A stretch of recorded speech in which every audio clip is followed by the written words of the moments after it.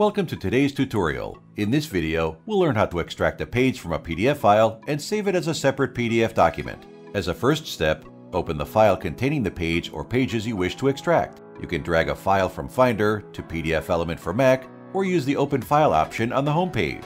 Click the Organize Pages icon on the left side of the toolbar to see a new view. In this view, select one or more pages to mark them for extraction.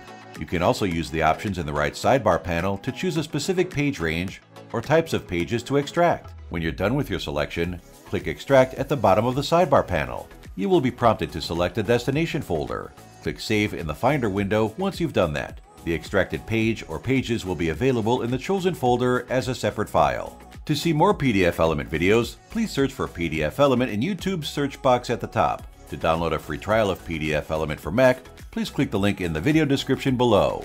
Oh, and before you leave, please take a couple of seconds to hit the like button and subscribe to our channel to get access to all of our content on YouTube.